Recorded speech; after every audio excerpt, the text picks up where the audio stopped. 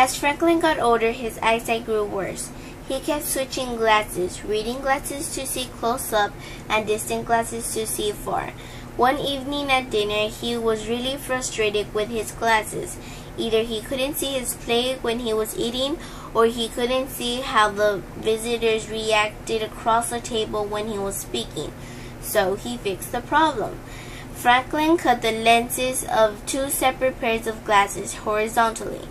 Then he combined the lenses and the result was bifocal lenses. They are still in use today.